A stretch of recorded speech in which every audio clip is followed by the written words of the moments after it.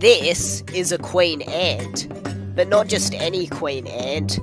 This is the highly rare Pheidole antipodum. These elusive ants are highly wanted by many Australian ant keepers, but are extremely hard to find, which is why I'm so excited about this latest catch. Isn't she just gorgeous? These large and robust queens are giants, measuring about 13 millimeters.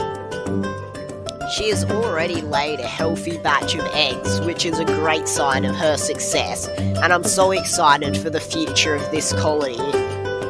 This queen and her colony needs a name, so leave your suggestions in the comments below.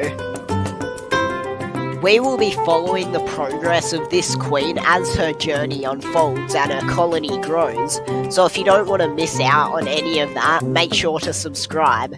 We're so close to 100 subscribers.